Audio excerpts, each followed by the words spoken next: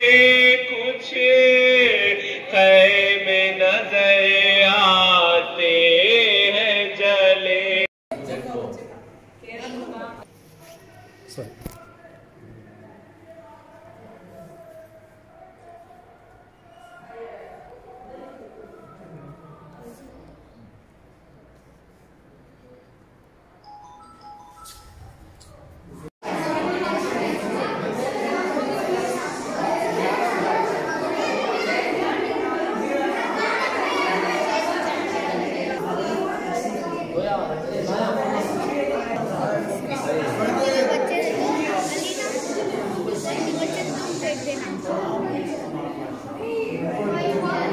क्या देखो?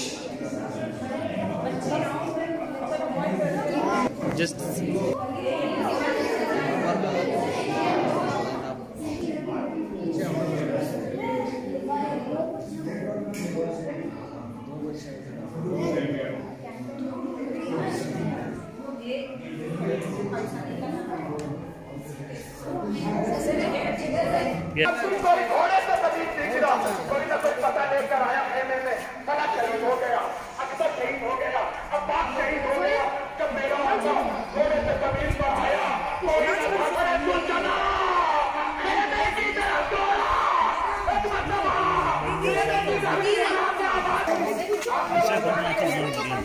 नहीं ब्रो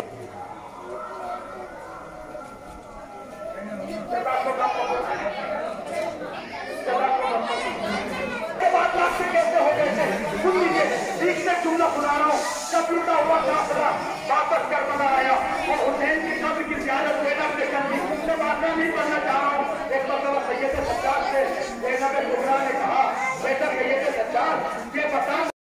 बेमुसाबना बिलहुसैन आज रोज़ आशूरा, पैगंबर इस्लाम का नवासा, फ़ातिमा का लख्त जिगर, अली मुर्तज़ा के बेटे को करबला में तीस हज़ार के लश्कर जो यजीद की तरफ़ से आए थे, घेर के शहीद कर दिया।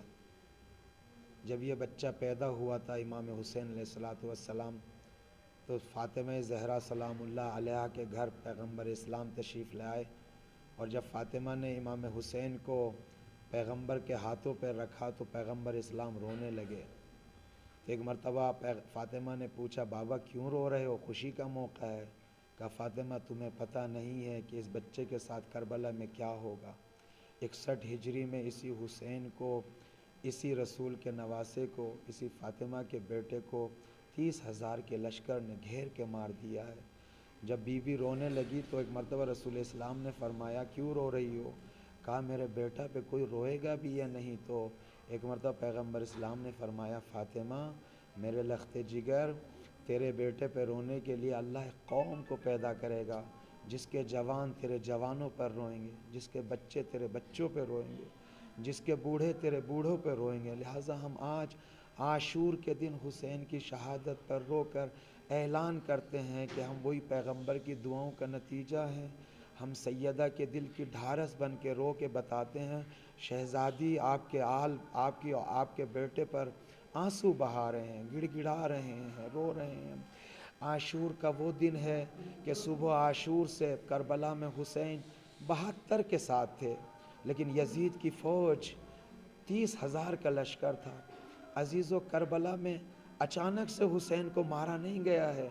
जब दादा लश्कर लेके पैगंबर के सामने अबू सुफियान आया, फिर उसका बेटा माविया अली के सामने लश्कर लेकर आया ज़ाहिर सी बात है जिसका दादा पैगंबर के सामने लश्कर लेकर आएगा, जिसका बाप अली के सामने लश्कर लेकर आएगा, उसका बेटा हुसैन के सामने लश्कर लेकर आएगा। और कौन सी दुश्मनी थी हुसैन से कि जिसके नन्हे मुजाहिद, छोटा सा बच्चा छः महीने का गोद का, उसको भी ज़िबा कर दिया गया। कौन सी दुश्मनी थी? ये दुश्मनी इंसानों वाली नहीं थी, इस्लाम से दुश्मनी थी। इस्लाम से दुश्मनी थी। लिहाजा चूँकि इस्लाम से दुश्मनी थी, इसीलिए पैगंबर के मुकाबले में ये ख़ानदान आया। और इस्लाम ने इस ख़ानदान को शजर मलूना कहा है और पैगंबर के ख़ानदान को शजर तैयबा कहा है। लिहाजा पैगंबर इस्लाम के, इस नवासे को करबला में किस बेदर्दी से मारा गया है? इंसान है हुसैन, तीन दिन से पानी बंद किया गया हुसैन पर, जिसके छोटे छोटे बच्चे पानी के बिना बिलबिला रहे हैं। बीवियों को पानी नहीं मिल रहा है। खुद मेरा आका हुसैन, भूखा प्यासा है, सुबह से लाशों पे लाशें ला रहा है। और वो टाइम भी आ गया असर आशूर, जब सब औलाद, भाई, भतीजे सब शहीद हो गए। मेरा मौला अकेला रह गया है और खेमों से रुखसत होके जब मेरा मौला अकेला गया कोई ऐसा भी नहीं था करबला में जो ख़याम हुसैनी में ये पता दे कि हुसैन शहीद हो गए। फ़कत एक जुलझना था मेरे मौला का, वही नीला था वह खेमे के दरवाजे पर आया और एक मरतबा बीबियों में ये ऐलान हो गया कि हुसैन दुनिया से जा चुके, छोटी सी बच्ची सकीना खेमे से निकली। बाबा के बाबा के जुलझने के गर्दन में गले, बाहों में बाहें डालने के बाद कहा मेरे बाबा के जुलझने बस इतना बता दे, मेरे बाबा को शहीद करते हुए पानी दिया गया या नहीं? कितनी मुसीबत का मंजर है अजीज़ों। जिन जिन, जिनके साथ बीवियाँ हों, बच्चे हों, बच्चियाँ हों बीबियों के सामने, मस्तूरात के सामने मर्दों को ज़िबा किया जा रहा है। तारीख़ बशरियत में ऐसा जुल्म कहीं नहीं मिलता। कोई मिल्लत, कोई कौम, कोई इंसान ऐसा जुल्म नहीं करता जो करबला में यजीदियों ने हुसैन और आले हुसैन पे किया है। और इससे बड़ा दर्द तो यह है कि जब शाम होने लगी, ये जो शाम गरीबा हैं, जानते हैं हम ये कौन सी शाम है? जिनकी गोदे उजड़ चुकी, जिस भाई, जिस बहन का भाई जा चुका है जिस माँ का बेटा जा चुका, जिस फूफी का भतीजा जा चुका, जिस खाला का भांजा जा चुका, उनकी गोदें खाली हैं, वो बीबी एडिए उठा उठा के देख रही है, कोई कौम आए हमारे लाशों को उठाए। कोई दफन करे, लेकिन कोई भी नहीं है। वो वक्त भी आया, ये वो शाम है कि इसी टाइम कल सब मर्द मौजूद थे, सब बच्चे मौजूद थे, सब जवान मौजूद है। लेकिन ये शाम ऐसी गरीबों की शाम है, एक दूसरे के मुँह को तक रही है, ना अकबर है, न कासिम है, ना न मोहम्मद है, ना मेरा आका हुसैन है। लेकिन वो वक्त भी आया जब अशकिया ने आके इस कारवान को, इस मस्तिन मस्तूरात को लूटना शुरू किया। जो जेवरात थे, जो वसाइल थे, जो चीज़ें मौजूद थी, सब लूट ली हैं। किसी के कान में गोशावारे हैं, उसको भी छीन ले रहे हैं। किसी के सर पे मकना है, उसको भी छीन ले रहे हैं। अरे शर्म आनी चाहिए उम्मतियों। ये हाल रसूल है, ये औलाद रसूल है।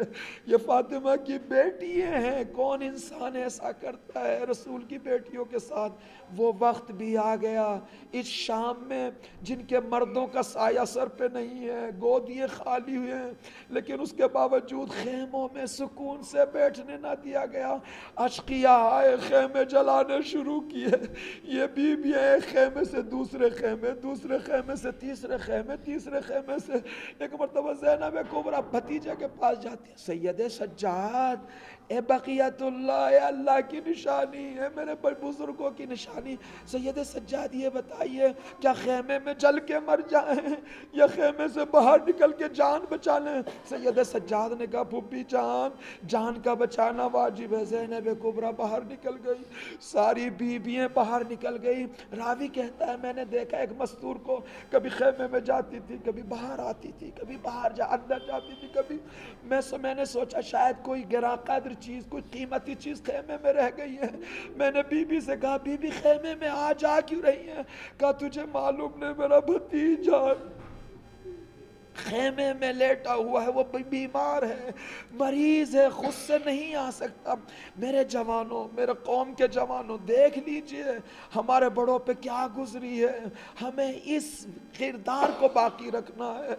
हमें अली अकबर की जवानी पे रोना है। हमें करबला के बच्चों पे रोना है। और रोने के साथ साथ जिन्होंने, जिस किरदार के लोगों ने, जिस तरीके के लोगों ने इन पे जुल्म किया है, उससे बेजारी करनी है, उससे दूरी इख्तियार करनी है। उनके किरदार से, उनके अमाल से, उनकी बुराइयों से हमें करबला को ज़िंदा रखना है, करबला के मैसेज को आगे बढ़ाना है, करबला की अजीम कुर्बानी जिसको कुरान ने, इस्लाम ने ज़िब है अजीम कहा है, उस चराग को हम खामोश होने दे, नहीं देंगे। हमारी जानें चली जाएँ, हमारे माल चले जाए, हमारी नामूस चली जाए। हम करबला के चराग को खामोश नहीं होने देंगे। और कैसे खामोश हो सकती है ये करबला? चराग हिदायत है, ये करबला जुल्म के खिलाफ आवाज़ है ये करबला, शराफत की आवाज़ है ये करबला, इंसानियत की आवाज़ है करबला, शैतान के मुकाबिल में आवाज़ है करबला, जुल्म, इस्तकबार व बरबरीत के सामने एक पैगाम है करबला, बशरियत के कानों में जिस जिस नुक्ते ज़मीन पर इंसान रहता है,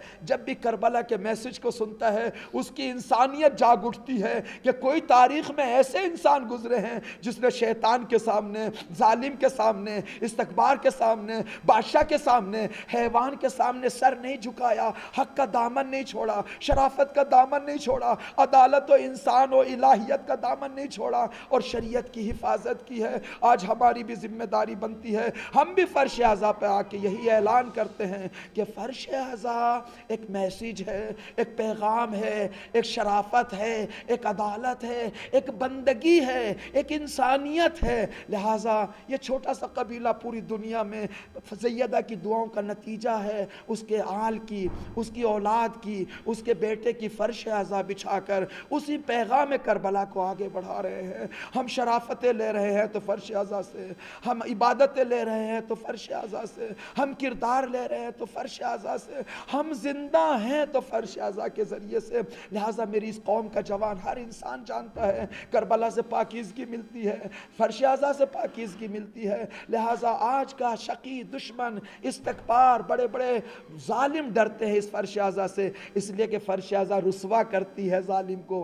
फ़र्श अज़ा शैतान के मुँह से नकाब उठाती है, जालिम के चेहरे से नकाब उठाती है। करबला और फ़र्श अज़ा आज पूरी दुनिया में जालिमों के चेहरों से नकाब हटा रही है, मजलूमों का साथ दे रही है। जीने का सहारा है करबला। छोटी छोटी कौमें करबला का सहारा लेके जीती है। क्यों नहीं आज़ाद इंसान? फ़र्श अज़ा बिछाकर अपनी शराफत का ऐलान करे। हर आज़ाद इंसान, और फ़र्श अज़ा बिछा के यही ऐलान करता है, हम आज़ाद इंसान का ज़िक्र करते हैं, हम अल्लाह वाले इंसान का ज़िक्र करते हैं, हम फर्जंद रसूल का ज़िक्र करते हैं। और लोगों को मैं ये कहना चाहता हूँ, आखिरी बात, हुसैन कोई अलग की शख्सियत नहीं थी पैगंबर का नवासा है।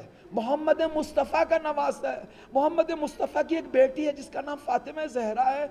उसका बेटा है, जो इस्लाम लेकर आया, उसका नवासा है। जो कुरान लेकर आया, उसका नवासा है। पैगंबर ने उंगलियाँ और ज़बान चुसा चुसा के हुसैन को बुज़ुर्ग किया, बड़ा किया है। तो यही शरीयत मोहम्मदी की हिफाजत के लिए हुसैन आए हैं। पैगाम मोहम्मद को आगे बढ़ाने के लिए हुसैन आए हैं। लिहाजा आज 1400 साल के बाद करबला ऐसी फरशाजा ऐसी है जैसे आज करबला ज़िंदा है, जैसे मेरा हुसैन ज़िंदा है, जैसे करबला के शहदा ज़िंदा हैं, अली अकबर ज़िंदा हैं। क्यों ना हो अली अकबर ज़िंदा? इस कौम में अली अकबर का किरदार रखने वाले ज़िंदा हैं, कासिम का किरदार रखने वाले ज़िंदा हैं, हबीब का किरदार रखने वाले ज़िंदा हैं। जब तक इस ज़मीन पर बशर बाकी रहेगा, फर्श आज़ा बिछती रहेगी, जालिम के ख़िलाफ़ आवाज़ बुलंद होती रहेगी, शराफतों की आवाज़ें आती रहेंगी। लिहाजा हम हर पूरे, पूरी दुनिया को ये मैसेज देना चाहते हैं कि करबला के मैसेज को सुने। करबला इंसानियत का मैसेज है, इलाहियत का मैसेज है, बशरियत को निजात देने का मैसेज है, गुमराहियों से बचाने का मैसेज है, गुनाहों से बचने का मैसेज है, तहारतें बढ़ती हैं। यहाँ से दहशत गर्दी नहीं फैलती फ़र्श अज़ा से। फ़र्श अज़ा से तो दहशत गर्दी नहीं है, बल्कि मजलूमों पर रोने की जगह है। जालिम के ख़िलाफ़ आवाज़ बुलंद करने की जगह है करबला लिहाजा मैं सबको दावत देता हूँ आलम बशरीत को। आइए हुसैन के मैसेज को सुनिए, फ़ातिमा के जहरा के लाल के मैसेज को सुनिए, अब्बास की वफाई का दर्स को सुनिए, अली अकबर की शजात के दर्स को सुनिए और इनके पाकिज़ा दामन के दर्स को सीखिए ताकि हमारे दामन भी पाकिज़ा हो जाए, हमारी कौमें भी शुजा हो जाएँ, हमारे किरदार भी हुसैनी, अब्बासी, हबीबी हो जाएँ। इन मौला से दुआ कर, खुदा से दुआ करते हैं और अहल अथार सलाम की खिदमत में अर्ज़ अदब करते हुए कहते हैं, मौला हमें तोफ़ी दे, आपका ये पाकिज़ा ज़िक्र हमेशा करते रहें, इस कौम को महफूज रख, जो लोग, जो भी फितरत सालिम रखते हैं, वो हुसैन के ज़िक्र को कबूल करते हैं। किसी भी कौम का हो, मुसलमान हो, हिंदू हो, मसीही हो, यहूदी हो, चूँकि हुसैन मेरा फ़कत शीयों का नहीं है, फ़कत मुसलमानों का नहीं है, पूरी इंसानियत का मौला है मेरा। हर इंसान को लिहाजा करबला में कह रहे हैं, लो लम यकुन लकुम दीन अगर तुम्हारे लिए दीन नहीं है, और तुम क़यामत से भी नहीं डरते तो कम से कम आज़ाद रहो। अगर आप आज़ाद हो गए तो हुसैन के मैसेज को मानेंगे, हुसैन के पैगाम को मानेंगे। हुसैन क़यामत तक के लिए चराग है, हुसैन क़यामत तक के लिए सफ़ीना और निजात है, हुसैन क़यामत तक के लिए हयात है। माशरे में अगर ज़िक्र हुसैन ना हो तो माशरा मर जाए, माशरे में अगर फ़र्श अज़ा ना हो तो गुमराहियाँ आ जाएँ। लिहाजा हम फ़र्श अज़ा को क़यामत तक के लिए ज़िंदा रखेंगे। जैसे हमारी नस्लों ने अमानतदारी के साथ करबला को और फ़र्श अज़ा को हम तक पहुँचाया है, हम भी यकीन दिलाते हैं अमानतदारी के साथ फ़र्श अज़ा को और करबला को बाद की नस्लों तक पहुँचाएँगे इन और ख़ुदा खुदावंद मुताल से मदद मांगते हैं, नुसरत मांगते हैं और खुदा से दुआ करते हैं। हमारे इन आबाल को कबूल फरमा और हमें बेहतरीन अमाल करने की तोफ़ी अता फरमा। वसलम वरहमल वबरक बसमीम इस फ़र्श अज़ा हमारे बुज़ुर्गों ने 40 साल पहले शुरू की थी इस मजलिसों का सिलसिला। नील संग्राम इदार फैज़ुल इस्लाम के नाम से 40 साल पहले से शुरू किए हैं। जब से लेकर आज तक हर साल हम इस माह रमज़ान मुहर्रम मुहर्रम के सिलसिले में हर मजलिसें अदा करते हैं। आप लोग बेहतर जानते हैं, सात का जुलूस है आप लोगों की। सात का जुलूस होगा। आज शाम गरीबा है। शाम गरीबा ये ऐसी जैसे हमारे मौलाना बताए हैं ऐसी शाम गरीबा ये ऐसी शाम उजड़ी हुई शाम है कि करबला की सारे शहीदों शहीदों होने के बाद उस याद को हम ज़िंदा रखने के लिए, हमारे बच्चों को ये तरबियत देने के लिए हक़ क्या है? जो बातिल क्या मुसीबत दिया है हमारे बच्चों से, बीवियों के ऊपर, मौला हुसैन के ऊपर जितनी अजियत पहुँची है, इस अजियत का हम एहसास कराना चाहते हैं। हम ये एहसास खुद करते हैं हमारी नस्ल को कराना चाह रहे हैं। इसलिए हम लोग इदारा फैज़ुल इस्लाम हमारी कमेटी है इस सारा बंदोबस्त सारा इंतज़ाम हम लोग यहाँ से करते हैं।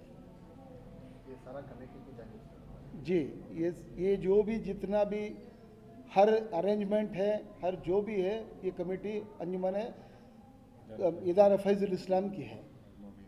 और पूरे मोमिन की ताउन है इसमें जो भी उन तबरुक का है, उन सब मोमिन उसमें हिस्सा लेते हैं। बच्चों से, बड़े से सबीले बढ़ते हैं, तबरुकात बढ़ते हैं।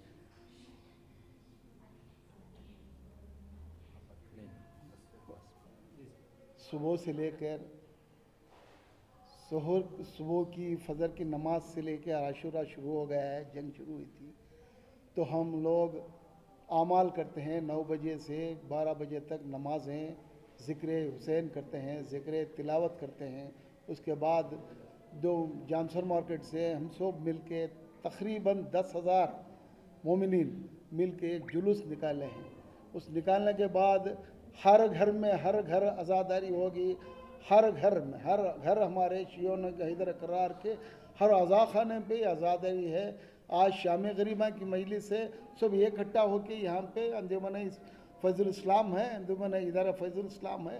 बाब अली में आप लोग अब बेहतर जानते हैं अब यहाँ पे देखिए यहाँ का नज़ारा थोड़ा बताइए उनमें। यहाँ अरेंज करते हैं मजलिसों का सिलसिला है। और इसके बावजूद हम लोग पूरे घरों में हर घरों में हर बच्चा इसको याद हुसैन मनाते हैं। आज का ये प्रोग्राम है। कितने बजे तक चलेगा? आज दस साढ़े दस बजे तक ये प्रोग्राम चलेगा इन उसके बाद तबरुक का इंतज़ाम है तबरुक का तकसीमत है आप लोगों के लिए, सभी के लिए, मसूरात के लिए मोमिन के लिए, तबरुक का इंतज़ाम। ऐसा तबरुक सिर्फ़ ऐसा नहीं है कि शिया नहीं, सारे मखलूक़ात की तबरुक हम बंटवारा करते हैं। सभी ले बांटते हमारे छोटे छोटे से बच्चे छः साल के, पाँच साल के बच्चे लेते हुए वो छोटे छोटे सबीले लगाते हैं। लबी सबीले लगा के, इमाम हुसैन के नाम से, अली असगर के नाम से वो तबरुक बांटना चाह रहे हैं। ये बच्चों को हमारा जज्बा ऐसा है, हम सोच भी नहीं सकते। कि छोटे बच्चे हैं, वो अपनी रुपए, दो रुपये पाँच रुपए से वो अपनी जेब के खर्चा लेते हैं, दूध का शरबत बनाते हैं, कोई दूसरा शरबत बनाते हैं, कोई दूसरी बांट के तकसीम करते हैं। ये हमें बहुत अच्छी, बहुत अच्छा दिखता है, माशाल्लाह। ये सिलसिला ताक़यामत तक जिंद, ज़ाहिर रहेगा ताक़यामत तक ये सिलसिला जारी रहेगा, माशा